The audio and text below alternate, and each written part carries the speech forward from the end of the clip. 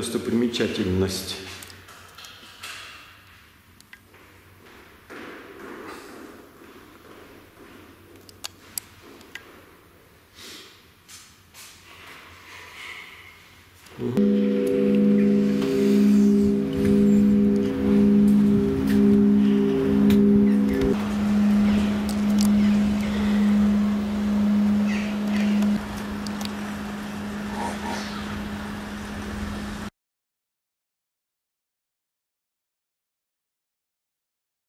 Соседнего города привезена из Боксогорска.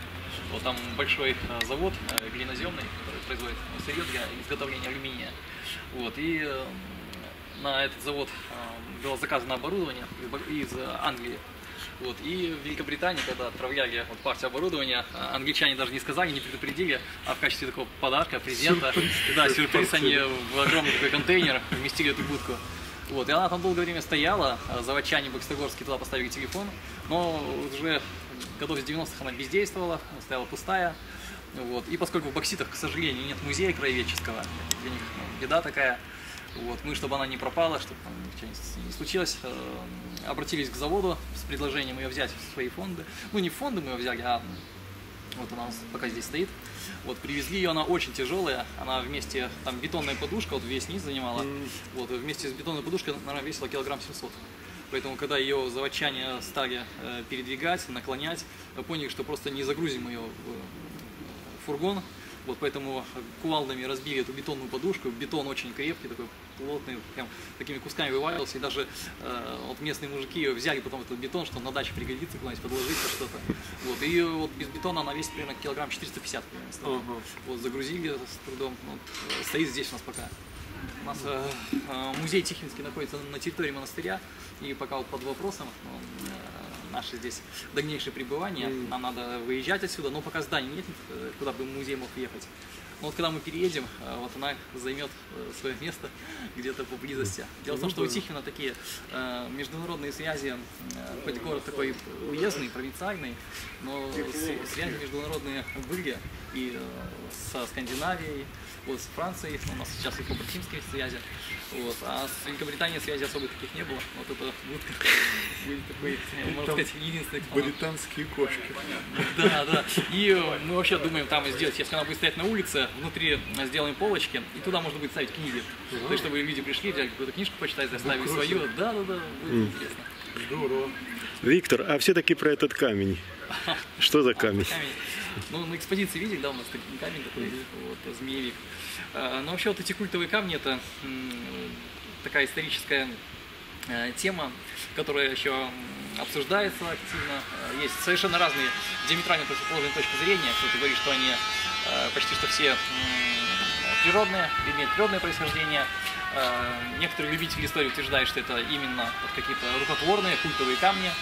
Вот. Но э, я думаю, что в этом надо еще разбираться. То есть пока окончательно слово сказать нельзя, вот даже по поводу нашей находки. Но он был найден в интересном очень месте. Это деревня Дуброво. Это такой средневековый центр. Там э, были не только славяне и финно-угры, там были скандинавы. Скандинавы приплывали к нам вот по нашим рекам, по Сиси, вот по Паше, по Аяте. Они приплывали к местным племенам выменивать у них э, мех, э, меховые шкурки. Вот, поэтому тут были разные народы, разные племена. И вот эта деревня Дуброво, это старое такое средневековое поселение. Вот, и на южной окраине этой деревни э, был жальник. То есть это такое э, культовое захоронение, это курган. Жальники еще было, относились камнями к периметру. Вот, и э, мож- могли быть какие-то камни установлены на самом жальнике. Жальник этот был разрушен еще в середине 20 века. Вот, э, и вот этот камень, он был как раз э, под обрывом вот, э, к реке. Вот, он вполне мог скатиться с этого жальника и там лежать. У него, видите, такой четкий выступающий рельеф. Вот, мы обратились к некоторым, к нескольким специалистам. Вот, но единственное, что сложно, все эти специалисты, они живут в других городах. Вот, и по фотографии как-то определить, может, не совсем получается. К нам приезжали вот несколько геологов. Э, Вот, один из них, например, сказал, который специализируется по рагуше, то есть э, с большим стажем, вот разбирается во всех этих породах, сказал, что камень э, рукотворный определенно. Другой говорит, что камень определенно природный. То есть они все люди с опытом, вот, ну, совершенно разной точки зрения. Ну и также а- археолог- археологи э, тоже, э, один он нам сказал, что камень определенно природный.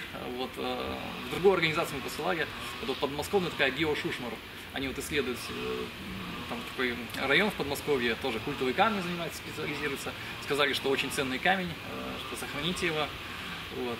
Ну, будем ждать, будем копить вот эти отзывы, будем ждать, пока эти специалисты к нам приедут, как не с Аказии, и посмотрят. Это, конечно, очень ценно. Но вот пока этот камень у нас на экспозиции, его, его все могут видеть. Вот нам, конечно, отзывы о нем очень ценны, очень интересно. Да, необычно. Ну что, в следующий раз встретимся в новом здании, на новой площадке. Все-таки выгоняет музейщиков, да, Ну, нет, так-то особо не выгоняет, но процесс вот э, объявлен такой принцип, что монастырь э, должен занять все здания. То есть, чтобы здесь не было ни складов, ни магазинов чужих, ни чего-то. Вот. А музей здесь находился давно, здесь же были и жилые дома, то есть в некоторых кельях просто жили люди. Вот. э, Все это в 90-е годы, э, да, со времени возрождения обители, все, это, все эти организации съехали, а вот музей пока остается. Но музей, надо сказать, подчеркнуть, что для монастыря сыграл очень положительную роль. Потому что если бы не музей, то этот монастырь был бы в гораздо большем запустении. Вот, например, у нас через реку есть Веденский монастырь, женский. Он основан почти что одновременно с вот этим мужским Успенским монастырем. Вот. И э, там музея не было, там были разные организации, которые э, ну, по-другому совсем подходили к сохранению там здание ансамбля. И этот монастырь, он находится в, таком, э, в такой разрухе, что он до сих пор еще только поднимается. И он весь ободран, конечно, ну, разруха там. Вот. А этот монастырь, вот э, музей централизованно выступал как заказчик вот, э, реставрационных работ. И в советские годы была проделана огромнейшая работа э, первоклассными реставраторами, специалистами, которые восстановили, ну, не дали разрушиться многим зданиям. Вот. И э, сейчас вот монастырь сохранился в основном благодаря тому, что здесь был музей. Вот, ну и, конечно, в, современ... в последние годы, вот, последние лет 10, вот с тех пор, как вернулась Тихвинская икона, здесь тоже ра- работа она проделана большая очень. Вот мы стоим перед Христос-Вижеской церковью. Я, честно говоря, думал, что умру и не увижу, как восстановили купол. Вот в этот купол во время войны попало несколько снарядов, ну, когда Тихвина отбивали от фашистов, и вся эта кровля, она сгорела и рухнула. То есть э, храм стоял с простой четырехскатной кровлей. Вот, я думал, что он всегда такой и будет, но вот прошло буквально несколько лет, и э, выросла такая кровля. Восстановлена по старым фотографиям. Тихону вообще повезло, что у нас э, есть обширная иконография города. В городе было еще до революции несколько фотографов, вот ателье, вот, и они фотографировали и вот когда надо что-то восстанавливать, вот можно обращаться к этим старым видам. Так что вот церковь восстановлена, вот точно такая же она была и до революции. Вот. Ну, а для музея а, есть э, здание в старой части города, там такие особняки, один конца 18-го, другой начала 19 века, вот, э, связанные с семейством Лохвицких. Вот из них выходят э, две поэтессы, это Мира вот, э, и Тефия э, Лохвицкий. Вот. э, Но эти здания, они, конечно, их надо ремонтировать там от фундаментов и до кровли. Там трещины такие, что может кошка пролезть, причем сверху и донизу. Вот. И, конечно, они все там заражены грибами всякими, там плесени, такой слой, что махровый. Вот это надо, конечно, их обрабатывать. И, н- Не знаю, потянет ли наша страна пока в современных условиях вот такой большой ремонт. Так что мы пока здесь, но мы с монахами, конечно, дружим, с монастырем, какие-то даже мероприятия совместно проводим. Вот. Но все равно мы здесь гости, мы это э, явно чувствуем. Отсюда надо, конечно, переезжать. Вот. И вот эта будка, она у нас стоит, видите, так отвернута, э, чтобы, поскольку здесь пока не наш дом, вот когда мы переедем в свой дом уже, там она уже займет достойное место, будет стоять. Ну Вот пока мы здесь как бы на, на чемоданах сидим.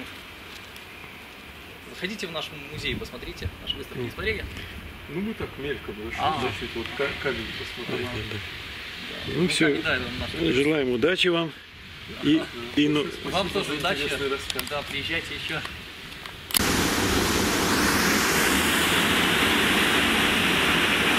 Нет?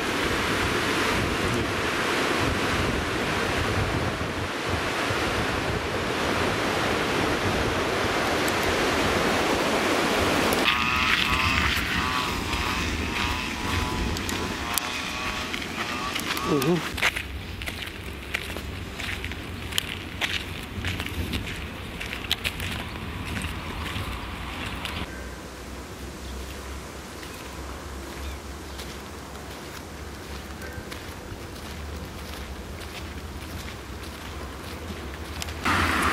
Теперь после посещения славного города Тихвина я отправляюсь в следующий пункт. Город Сясьстрой.